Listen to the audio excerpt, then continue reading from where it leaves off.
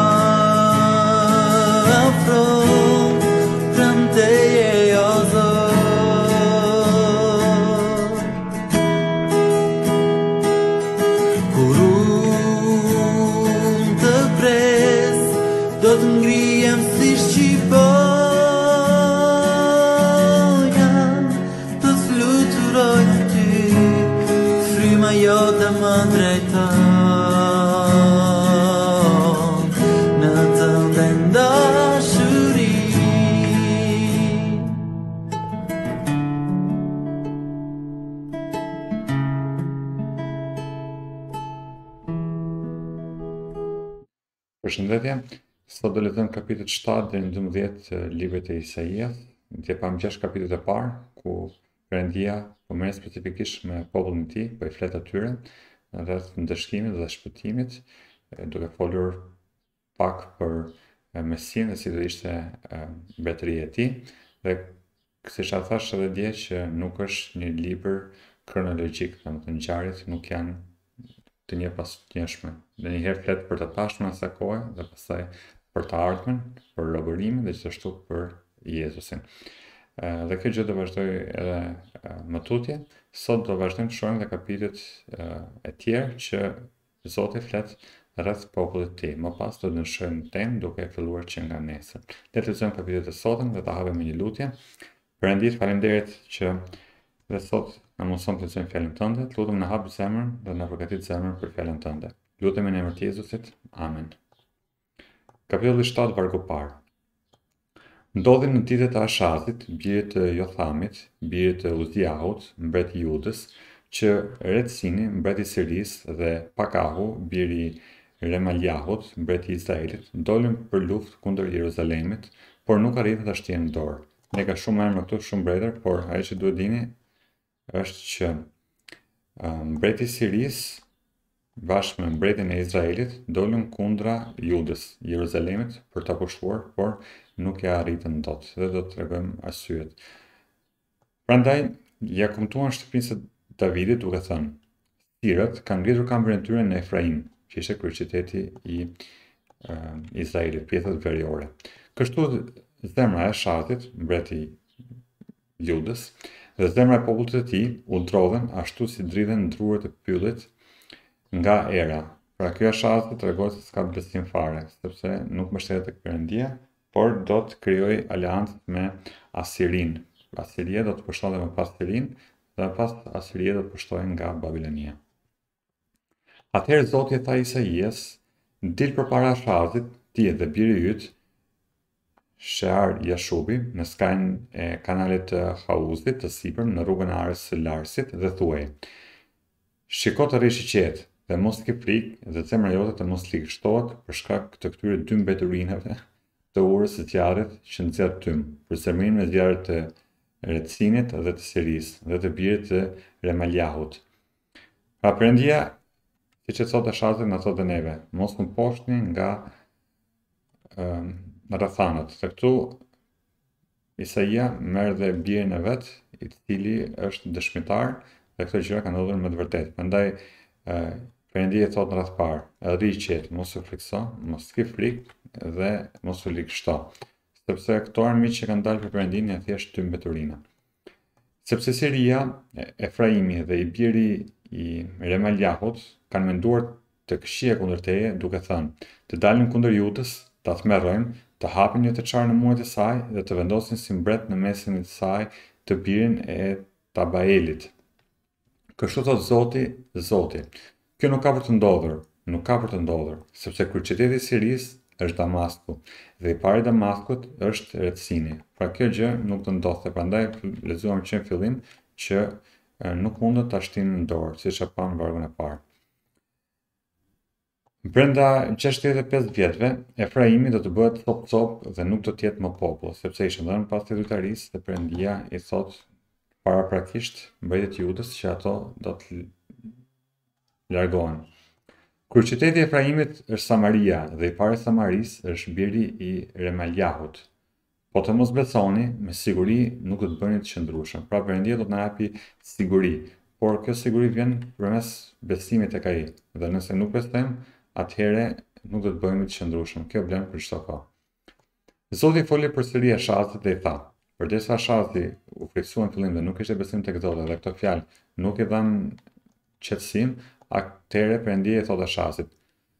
Kërkoji një shenjë për vete Zotit, Perëndisë tënd.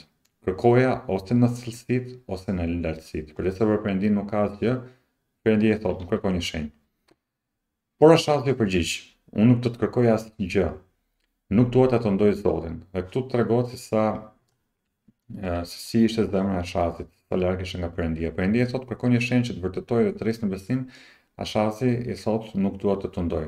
Realisht t'i kërkosh një shenjë Perëndisë ndonjëherë është tundim, por kur ta kërkon Perëndia nuk ka gjë të keqe që ti t'i kërkosh çdo gjë, përderisa ai thotë kërkoja në thellësitë ose në lartësitë, përderisa nuk ka asgjë të pamundur për të. Dhe Ashazi e kundërshton, sepse Ashazi kishte besim tek Asiria, tek ato që i shihte.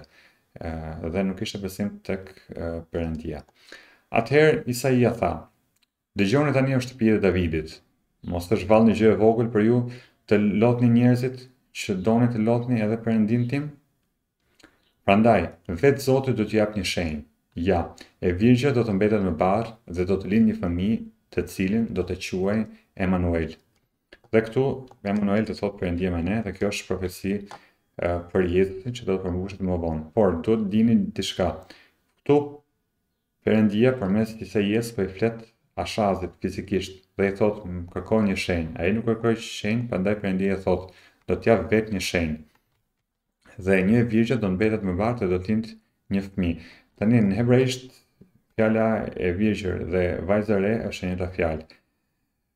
Disa versione të Biblës anglisht kanë përkthyer dhe e reja, dhe do të thotë një lloj arsyetimi është se në kohën e Ashazit, një nga konkubinat mbeti me barrë dhe lindi një fëmijë dhe do të përmbushej fjala e Perëndisë në kohën e Ashazit, por sigurisht ishte një profeci shumë kohë më vonë, 700 vjet më vonë, që një virgjër pa njohur burrë do të lindte një djalë dhe do të ishte shpëtimtari, që është Emanuel, Perëndia me ne.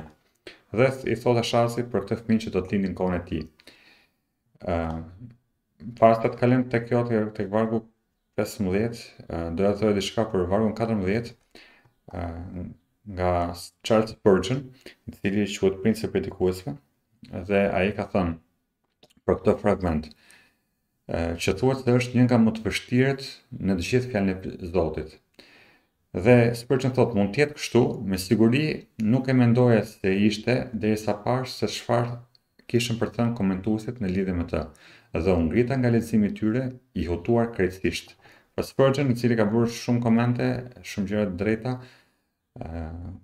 Rreth këtij vargu pati edhe ai shumë gjëra të cilat ishin të çuditshme nga ana e komentuesve për shkak të kësaj që e thashë që i jepet një shenjë direkt Ashazit dhe sigurisht shenja e dytë përmbushjen e Jezusit në e qartë, por flitet për shenjën që i dha Ashazit. Vargu pesëmbëdhjetë, Flitet për këtë fëmijë që i lindi Ashazit. Ai do të hajë ajk dhe mjaltë, derisa të mësojë të hedhë poshtë të keqen dhe të mirën. Dhe sigurisht Jezusi nuk do të mësonte për të keqen, por ajka dhe mjalti janë shenjë zie, buke, dhe do kishte zi buke sigurisht në kohën e Ashazit. Por para se fëmija të mësojë të hedhë poshtë të keqen dhe të zgjedhë të mirën, vendi të cilin ti e druan për shkak të dy mbretërve të tij do të braktiset. Zoti do të sjellë mbretin e Asirisë mbi ty, mbi popullin tënd dhe mbi shtëpinë e atit tënd, ditë që nuk kanë ardhur që kur Efraimi u nda nga Juda. Atëherë përderisa Ashazi kishte besim tek e, Asiria, Perëndia thotë, unë do të shpëtoj nga Siria, por Asiria do të vijë kundër teje, sepse Ashazi do të bënte aleancë me Asirinë, do të merrte gjithë thesarin e tempullit të Perëndisë, do t'ia çonte atij dhe Asiria do ta pushtonte atë. Atë ditë do të ndodhë që Zoti do t'u fishkëllejë mizave që ndodhen në skajin e dheut, në skajin e lumenjve të Egjiptit, më falni, dhe bletëve që ndodhen në vendin e Asirisë. Ato do të vinë dhe do të vendosen në luginat e shkretuar, në të çarat e krepave, mbi të gjitha gëmushat me gjemba dhe mbi të gjitha kullotat. Atë ditë, Zoti, me një brisk të marrë hua, përtej lumit, domethënë, me mbretin e Asirisë, Do të rruajë kokën dhe qimet e këmbëve si dhe mjekrën. Pra Zoti do të përdorë edhe mbretin e Asirisë, një njeri pagan, i cili do ta çnderojë komplet Judën. Dhe në atë sidomos në atë kohë të rruaje kokën dhe qimet e këmbëve ishte ë një shenjë turpi. Dhe këtë gjë do ta bënte Zoti për se ishin dhënë pas mëkateve. Atë ditë do të ndodhë që Dikush do të mbajë një lopë të re dhe dy dele, dhe, për shkak të bollëkut të qumështit që do t'i japin, ai do të hajë ajkë, sepse ajkë dhe mjaltë kanë për të ngrënë të gjithë ata që kanë mbijetuar dhe janë lënë në mes të vendit. Atë ditë çdo vend ku mund të kishte një mijë hardhi prej një mijë siklash argjendi do të bëhet pre e ferrave dhe gjembave. Do të hyhet me to me shigjeta dhe me hark, sepse tërë vendi do të jetë i mbuluar nga ferra dhe gjemba. Dhe mbi të gjitha kodrat që u çelën me me shat nuk do të kalohet më nga frika e ferrave dhe gjembave. Do të jetë një vend ku të të Dërgohen qetë dhe do të shkelet nga dhentë. Pra, një vend që jepet pas mëkatit nuk do të ketë dhe bekimet e Zotit. Ky është kuptimi i përgjithshëm. Kalojmë tek teta vargu i parë. Zoti më tha, merr një rrasë të madhe dhe shkruaj mbi të me shkronja të zakonshme. Maher Shalal Hash Baz.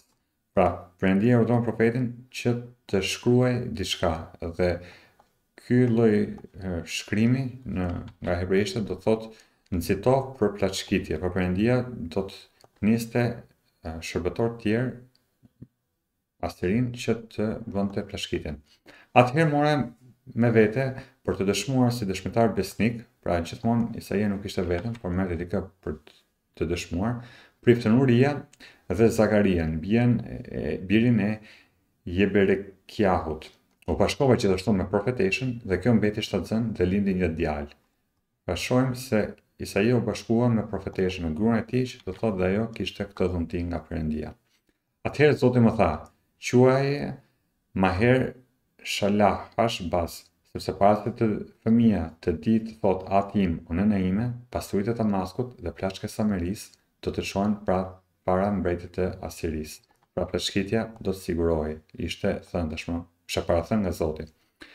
Zoti më foli ende dhe më tha, Meqenëse ky popull ka përçmuar ujërat e Siloes, që rrjedhin ëmbël dhe kënaqen për shkak të Retsinit dhe të birit të Remaliahut, prandaj ja Zoti do të bëjë që mbi ta të vërshojnë ujërat e lumit të fuqishme dhe të bollshme, domethënë mbreti i Asirisë, dhe tërë lavdia e tij do të ngrihet mbi të gjithë kanalet e tij dhe do të vërshojë në të gjitha brigjet e tij. Pra, populli kishte bërë përçmuar ujërat e Siloes që i kishte dhënë Perëndia, dhe përderisa këto ishin vetëm të rrjedhshme dhe jo të bollshme, atëherë Perëndia do të dërgonte shërbëtorë të tjerë nga lumi i fuqishëm që ishte mbreti i Asirisë që të bënte kërdinë. Dhe e, kjo gjë ujërat e Siloeot siç thashë janë si një rrëke krahasuar me lumenj të mëdhenj. Sidoqoftë, ky ishte një bekim nga Zoti dhe vetë ekzistenca e tyre në qytet varej nga këto ujëra. Pra, meqenëse nuk ishin të kënaqur, dhe kënaqeshin madje me drejtues të këqij siç ishte Retsini dhe biri i Remaliahut, atëherë Perëndia do të dërgonte ujëra të fuqishëm që ishin ushtria e Asirisë në të cilët në Asiri kalonin lumi Eufrat dhe Tigri që përfaqësonin këto lumenj të mëdhenj. Kalojmë tek vargu tetë. Do të kalojë përmes Judës, do të vërshojnë dhe do të kalojnë përtej, derisa të arrijë te qafa dhe krahët e tij të shpalosura do të mbulojnë tërë hapësirën e vendit tënd, o Emanuel. Bashkohuni pra madje me vrull, o popuj, por do të bëheni copë copë. Pra megjithëse mund të bashkohesh kundër Zotit, prapë nuk mund ta mundësh atë kurrë. Dëgjoni o ju mbarë vende të largëta, ngjeshuni pra, por do të bëheni copë copë, ngjeshuni er pra, por do të bëheni copë copë. Bëni pra plane, por do të dalin bosh. Thoni një fjalë, por ajo nuk do të realizohet, sepse Perëndia është me ne. Ne edhe këtë e nxjerrim gjithmonë jashtë kontekstit. Perëndia është me ne sikur çfarë lloj gjëje që të bëjmë ne është me ne. Edhe kur ne jemi në mëkat, prapë Perëndia është me ne. Kur nuk është ashtu. Perëndia është me ne këtu referohet neja është me Asirinë dhe Isaien dhe është kundra popullit të Perëndisë. Prandaj Perëndia thotë, Ju bëni aleanca, bëni plane por dalin të kota, sepse Perëndia ka vendosur gjykimin. Dhe, kini kujdes që ta kuptoni këtë në kontekst. Mos e merrni jashtë kontekstit, mund ta aplikoni sigurisht në vende tjera, por konteksti i parë është ky, të paktën dijeni këtë anë e kësaj e Biblës. Sepse kështu më ka folur Zoti me dorë të fuqishme dhe më ka lajmëruar të mos ecin nëpër rrugën e këtij populli, duke thënë, Mos quani përbetim të gjithë ato që ky popull i quan përbetim, mos kini frikë nga ajo që ai druan dhe mos u trembni. Zotin e ushtrive, atë duhet të shenjtëroni, pra largoni idhujt dhe shenjtëroni Zotin e vërtetë. Qoftë ai frika juaj, tmerr juaj. Dhe kur kemi Zotin frikë tmerr, atëherë nuk kemi frikë nga të tjerët. Ai do të jetë një shenjtore, por nga një gur pengese, por edhe një gur pengese, një shkëmb pengimi për të dyja shtëpitë e Izraelit, pra për Judën dhe për Izraelin, një lak dhe një kurth për banorët e Jeruzalemit, sepse nëse hedhin poshtë gurin e pengesës, Zotin vetë, atëherë nuk kanë shpëtim. Midis tyre, shumë persona do të pengohen, do të bien dhe do të bëhen copë-copë. Do të mbet do të mbeten në lak dhe do të kapen. Mbylle këtë dëshmi, vulose këtë ligj midis dishepujve të mi. Pra, Perëndia e vulos këtë në fjalët e tij e shkruan dhe kjo profeci do të përmbushet. Unë pret Zotin që fsheh fytyrën e tij nga shtëpia e Jakobit dhe kam shpresë tek ai. Pra, siç e lexuam edhe dje, Perëndia fsheh në një fytyrën kundrejt njerëzve mëkatarë. Ja, unë dhe bijtë që Zoti më ka dhënë, jemi shenja dhe një parashikim në Izrael, nga ana e Zotit të ushtrive, Që banon në Malin Sion, pra fjala e Zotit, do të realizohet dhe kishte dëshmitarë. Në rast se ju thuhet, këshillohuni me mediumë dhe me magjistarë që murmuritin dhe pëshpëritin, përgjigjuni, A nuk duhet një popull të këshillohet me Perëndinë e vet? A duhet vallë t'u drejtohet të vdekurve, për llogari të gjallëve? Përmbajuni ligjit dhe dëshmisë. Në rast se ata nuk flasin sipas kësaj fjale, kjo do të thotë se në ta nuk ka dritë. Pra, nëse një drejtues fetar ka dhe në kohët e sotme, të cilët mund të duken perëndishëm, por nuk prezantojnë fjalën e perëndisë ashtu siç duhet, por ecin sipas botëkuptimit të tyre, flasin pak nga fjala e perëndisë dhe japin një kuptim sipas mendjes së tyre, largohu nga këta. Ki kujdes dhe këtë gjë thonte edhe Isaia në kohën e tij që u këshillonin me magjistarët ose me të vdekurit. Do të sillet ndër vend i rraskapitër dhe i uritur, dhe kur të jetë i uritur, do të pezmatohet dhe do të mallkojë mbretin e tij dhe perëndinë e tij. Do ta kthejë shikimin lart, pastaj do ta kthejë drejt tokës dhe ja, fatkeqësi, errësirë, terr, plot me ankth dhe do të shtyhet në terrin më të dendur. Por, errësira nuk do të zgjasë gjithnjë mbi atë që tani është në ankth. Ashtu si në të kaluarën, ai mbuloi me turp vendin e Zabulonit dhe vendin e Neftalit, kështu në të ardhmen do ta mbulojë me lavdi tokën pranë detit, matanë Jordanit, Galilenë e kombeve. Kapitulli 9, vargu i parë. Populli që ecte në terr pa një dritë të madhe, mbi ata që banonin në vendin e hijes së vdekjes doli një dritë. Kjo dritë është Jezusi. dritë për ta. Ti e ke rritur kombin, ke shtuar gëzimin e tyre, ata gëzohen para teje ashtu si gëzohet dikush në korrje dhe ashtu si gëzohet kur ndahet plaçka e luftës. Sepse ti ke thyer zgjedhën që rëndonte mbi të, shkopin mbi kurrizin e tij dhe shufrën e tij që e shtypte, si në ditën e Midianit, që lexuam tek gjyqtarët. Pra Perëndia është dritë dhe sjell çlirim. Sepse çdo këpucë luftëtare në përleshje dhe çdo mantel i rrëkëllyer në gjak do të caktohet të digjet dhe do të jetë eshkë zjarri. Sepse na ka lindur një fëmijë, një djalë na është dhënë, mbi supet e tij do të mbështetet perandoria dhe do të quhet Këshilltar i Admirueshëm, Perëndi i Fuqishëm, Atë i Përjetshëm, Princ i Paqes. Dhe uroj që ta kuptoni se për cilin bëhet fjalë, Ky fëmijë që do të lindë, krijuesi i universit, që përmes tij u bë çdo gjë, ai zgjedh të vijë në formë ë njeriu, të marrë një trup dhe nuk u krijua ë erdhi si një foshnje, pra si një fëmijë ë kur ai mund të krijonte dhe siç krijoi Adamin, duke e krijuar tashmë të rritur, por ai zgjodhi që të të, tundohej dhe të vuante njëlloj si ne, që në ditën e gjykimit mos kemi justifikime, dhe ai na dha vetë shembullin. Dhe thuhet që na është dhënë një djalë, dhe mbi supet e tij do të mbështetet perandoria dhe do të quhet këshilltar i admirueshëm, perëndi i fuqishëm, pra Jezusi është perëndi, siç thonë muslimanët, ku thuhet që Jezusi është perëndi, në gjithë Biblën. Ati i përjetshëm dhe princ i paqes. Nuk do të ketë të sosur rritja e perandorisë së tij dhe paqja mbi fronin e Davidit dhe në mbretërinë e tij për ta vendosur pa u tundur dhe për ta përforcuar me anë të mençurisë dhe të drejtësisë tani dhe përjetë. Këtë ka për të bërë zelli i Zotit të ushtrive. Pra Perëndia 700 vjet më parë se të vinte Jezusi në tokë e tha e shpalli këtë gjë. Zoti ka dërguar një fjalë kundër Jakobit dhe ajo ka rënë mbi Izrael.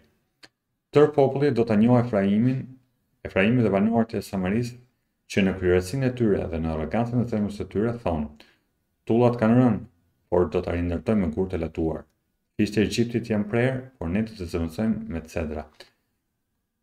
Këtu tani Perëndia flet për pjesën veriore për Izraelin dhe u thotë atyre, Perëndia ju ka qortuar dhe ju ka bërë që të shkatërrohet vepra e duarve tuaja, por ju krenoheni e thoni do ta rindërtojmë dhe më mirë. Ka prerë bekimet, ushqimet, por ju thoni do t'i zëvendësojmë këto gjëra. Për këtë Zoti do të nxjerr, do të nxisë kundër tij kundërshtarët e Retsinit dhe do të nxisë armiqtë e tij.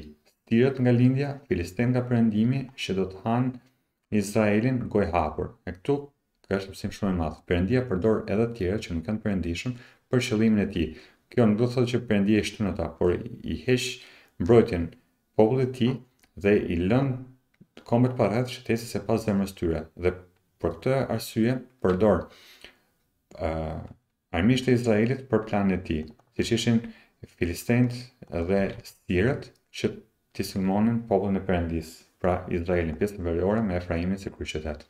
Megjithë këtë, zemërimi i tij, zemërimi i tij nuk qetësohet dhe dora e tij mbetet e shtrirë. Kjo është për ta mbajtur mend gjithmonë dhe përsëritet vazhdimisht në këtë kapitull forcon që Perëndia zemërohet thellësisht dhe prandaj për sa kemi ende kohë të pendohemi dhe të drejtësohemi me të me anë të besimit. Megjithatë, populli nuk kthehet tek ai që godet dhe nuk kërkon Zotin e ushtrive, prandaj Zoti do t'i presë Izraelit kokën dhe bishtin, degën e palmës dhe xunkthin brenda një dite të vetme. Plaku dhe njeriu nga parësia janë koka, dhe profeti që u mëson të tjerëve gënjeshtra është bishti, pra Perëndia do të heqë kokën që është parësia që nuk ecën sipas Perëndisë Dhe bishti është profeti që thotë gënjeshtra në emër të Perëndisë dhe që e bën popullin të mëkatojë. Ata që udhëheqin këtë popull e bëjnë të shkojnë në rrugë të gabuar dhe ata që udhëhiqen prej tyre i përpin. Prandaj duhet një mbret që të udhëheqë Izraelin dhe gjithë botën që është mbreti i përjetshëm Jezusi.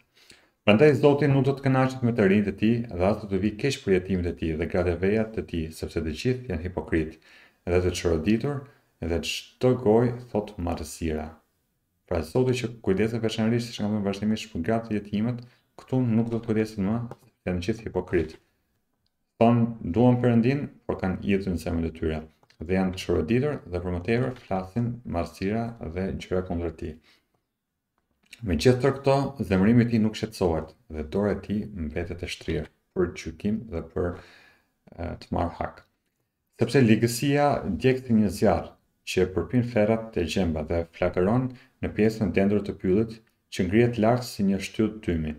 Për shkak të zemërimit të Zotit të ushtrive, vendi digjet dhe populli është si një eshkë për zjarrin. Askujt nuk i vjen keq për vëllanë e vet, Këputet nga e djathta, por uria vazhdon, këlltitet nga e majta, por pa u ngopur. Secili përpin mishin e krahut të vet. Pra gjendja është kaotike, dramatike, fare për popullin e Perëndisë. Manasi përpin Efraimin dhe Efraimi Manasin dhe tok janë kundër Judës. Pra vetë populli i Perëndisë është kundër njëri-tjetrit. Megjithë këtë, zemërimi i tij nuk qetësohet dhe dora e tij mbetet e shtrirë. Kalojmë tek kapitulli 10, duke filluar leximin nga vargu i parë. Mjerë ata që nxjerrin dekrete të padrejta dhe ata që vazhdojnë të hartojnë vendime të padrejta, për t'u mohuar drejtësinë të mjerëve, për t'u mohuar të drejtën të varfërve të popullit tim dhe Për t'i bërë gratë e veja pre të tyre dhe jetimët plaçkë të tyre. Pra, mjerë ata që mundojnë dhe përfitojnë nga të dobëtit, sidomos nga gratë e veja dhe nga jetimët. Çfarë do të bëni ditën e ndëshkimit dhe të shkatërrimit që do të vijë nga larg? Te kush do të ikni për të kërkuar ndihmë dhe kujt do t'ia lini pasuritë tuaja? Pra Perëndia thotë, Çfarë do të bëni atë ditë sepse ai ka pushtet dhe nuk janë idhujt që ata adhuronin. Atyre nuk do t'u mbetet asgjë tjetër veçse të përkulen midis robërve ose të bien midis të vrarëve. Pra, ata do të ndëshkohen, siç thotë Perëndia. Dhe përsëritja e kësaj fraze që thotë Zoti, me gjithë këtë zemërimi i tij nuk qetësohet, dhe dora e tij mbetet e shtrirë, ë na kujton se gjykimi i Zotit është këngulës, ai lëviz nga faza në fazë derisa të gjejë përmbushjen. Kjo do të thotë se ka kuptim që ne të pendohemi tani, sepse gjykimi i Zotit është i vazhdueshëm për tërë përjetësinë. Nëse edhe vdekja fizike nuk kënaq zemërimin e egër të këtij Zoti të shenjtë, çfarë tmerri dhe ndëshkimi do të qëndrojë përtej varrit, nëse ne jepemi pas kotësisë dhe pas mëkatit. Prandaj, sa shkoa, pendohu dhe drejtësohemi. Te. Mjerë Asiria, shkopi i zemërimit tim, në duart e së cilës ndodhet shufra e indinjatës sime. Unë do ta dërgoj kundër një kombi të pabesë dhe kundër popullit të zemërimit tim. Do ta urdhëroj që ta plaçkisë, ta zhveshë dhe ta shkelin si baltë rruge. Pra popullin e Perëndisë do ta bënte të tillë duke përdorur armiqtë e tyre, duke lejuar më saktë ato. Por ajo mendon ndryshe dhe në zemrën e vet ka plane të tjera, por dëshiron të shkatërrojë dhe të shfarrosë një numër të madh kombesh. Në fakt thotë, princat e mi, a nuk janë të gjithë mbretër? A nuk është si nuk është Kalnoja si Karkemishi, A nuk është Hamathi si Arpadi, a nuk është Samaria si Damasku? Ashtu siç ka arritur dora ime mbretëritë e idhujve, shëmbëlltyrat e gdhendura të të cilëve ishin më të shumta se ato të Jeruzalemit dhe të Samarisë, ashtu si bëra me Samarinë dhe me idhujt e saj, a nuk do të veproj kështu Edhe në Jeruzalem me idhujt e tij, pra kështu krenohen armiqtë e Jeruzalemit. Por do të ndodhë që kur Zoti të ketë mbaruar tërë veprën e tij në malin Sion dhe në Jeruzalem, ai do të thotë: Unë do të dënoj frytin e mendjemadhësisë së zemrës së mbretit të Asirisë dhe lavdinë e syve të tij krenarë. Pra Perëndia do ta lejonte Asirinë që të pushtonte dhe të plaçkiste popullin e tij për shkak të mëkatit, por Perëndia do të gjykonte edhe Asirinë, sepse kishte vepruar sipas zemrës së saj krenare dhe mëkatare. Në fakt ai thotë: E bëra me forcën e dorës time dhe me urtësinë time, sepse jam i zgjuar. Lëviza kufijtë e popujve, plaçkita thesaret e tyre dhe si një njeri i fuqishëm shfuqizova ata që rrinin në front.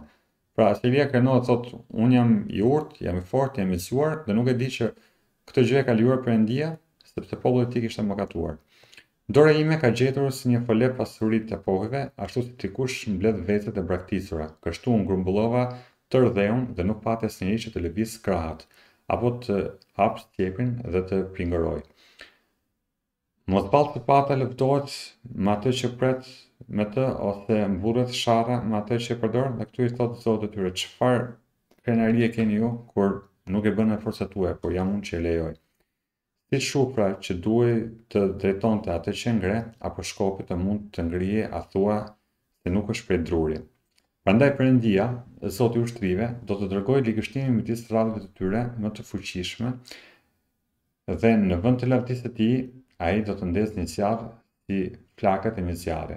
Kështu drita e Izraelit do të bëhet një zjarr, dhe i shenjti i tij një flakë, që do të flakërojë dhe të përpijë ferrat dhe gjembat brenda një dite të vetme. Ai do të konsumojë lavdinë e pyllit të tij dhe të fushës pjellore të tij nga shpirti deri te trupi. Do të jetë si një i sëmurë që ligështohet. Pjesa tjetër e drurëve të pyllit të tij do të katandiset në një numër aq të vogël sa edhe një fëmijë mund t'i numërojë, pra Zoti do të shikojë me tërbimin e tij, me zemërimin e tij të zjarrtë kundër mëkatarëve. Atë ditë do të ndodhë që pjesa që mbetet e Izraelit dhe ata që kanë shpëtuar nga shtëpia e Jakobit nuk do të mbështeten më mbi atë që i godiste, por do të mbështeten në të vërtetë mbi Zotin, të Shenjtin e Izraelit. Pra më në fund, populli i Zotit do të kuptonte që nuk mund të mbështetesh tek njeriu, megjithëse mund të duket i fuqishëm, me pozitë, por vetëm tek Zoti, tek i Shenjti, dhe ai është Krijuesi, ai kujdeset për ne dhe ai ka në kontroll gjithçka, është marrëzi të besojmë tek njeriu. Një mbetje, mbetja e Jakobit, do t'i kthehet Perëndisë së Fuqishëm, sepse edhe sikur populli yt o Izrael të ishte si rëra e detit, vetëm një mbetje e tij do të kthehet, shfarosja e dekretuar do të bëjë drejtësinë të vërshojë.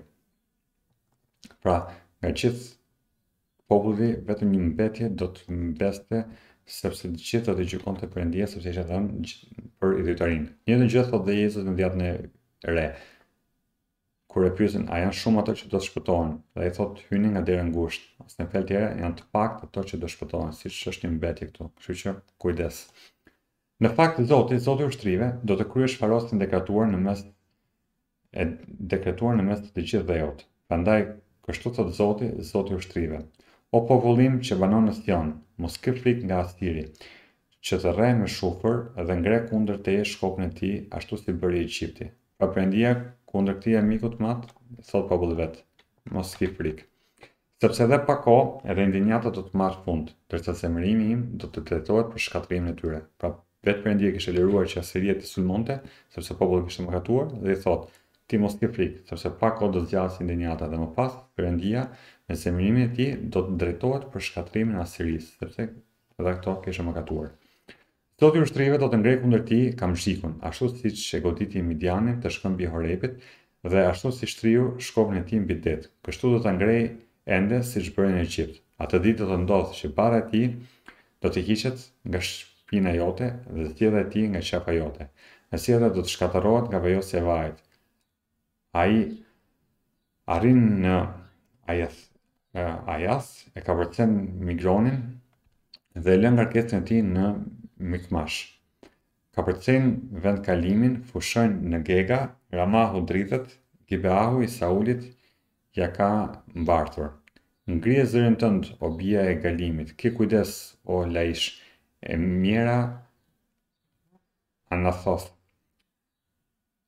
Madmenahu ia ka mbathur, banorët e Gebimit kërkojnë një strehë.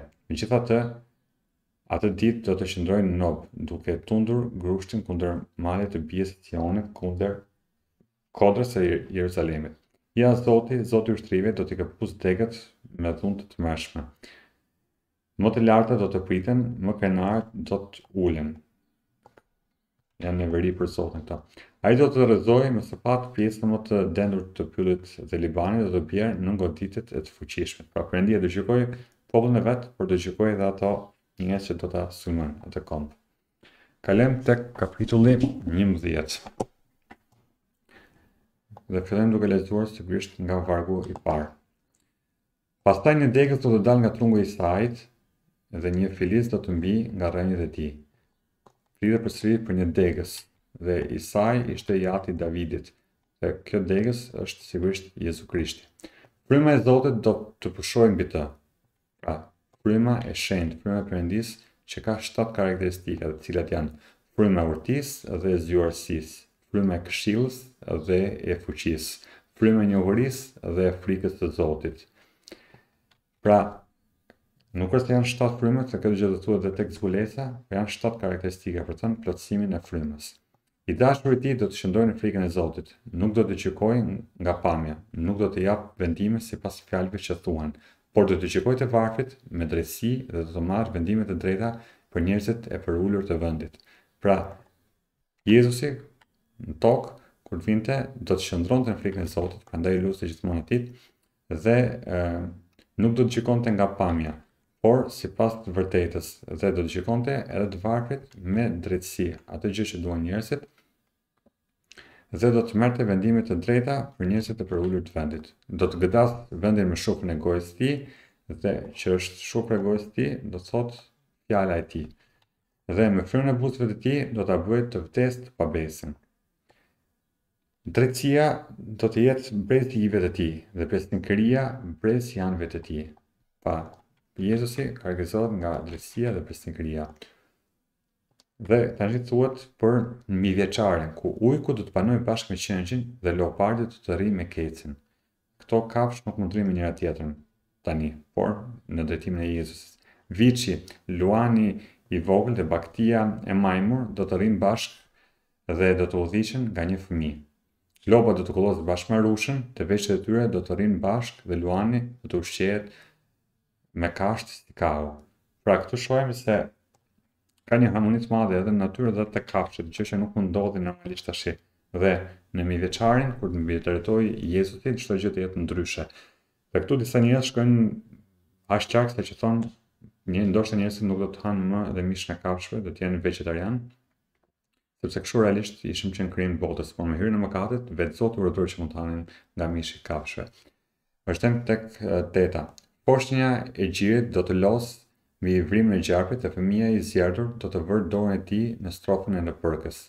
Nuk do të bëhet asnjë e keqe, asnjë shkatërrim mbi tërë malin tim të shenjtë, sepse vendi do të mbushet me njohurinë e Zotit, ashtu si ujërat mbulojnë detin. Pra një siguri e madhe, sepse Zoti mbretëron dhe mbretëron me drejtësi dhe me njohuri. Atë ditë do të ndodhë që rrënja e Isait do të ngrihet si një flamur për popujt, kombet Do ta kërkojnë dhe vendi i prehjes së tij do të jetë i lavdishëm. Po atë ditë do të ndodhë që Zoti do të shtrijë dorën e tij për herë të dytë për të shpenguar mbetjen e popullit të tij që shpëtoi nga Asiria dhe nga Egjipti, nga Pathrosi, nga Etiopia dhe nga Elami, nga Shinari dhe nga Hamathi dhe nga ishujt e detit. Ai do të ngrejë flamurin për kombet, do të mbledhë të dëbuarit e Izraelit dhe do të grumbullojë ata që shpërndanë nga Juda, në të katërt anët e dheut. Pra, si mundet që kur mbretëron Jezusi do të mbledhi dhe izraelitët, kur janë përhapur në katër anët e dheut, disa fise duket sikur janë shuar, por Perëndia i di. Dhe ai kur thret me emër yjet, jo më njerëzit që i di, ë, dhe më mirë.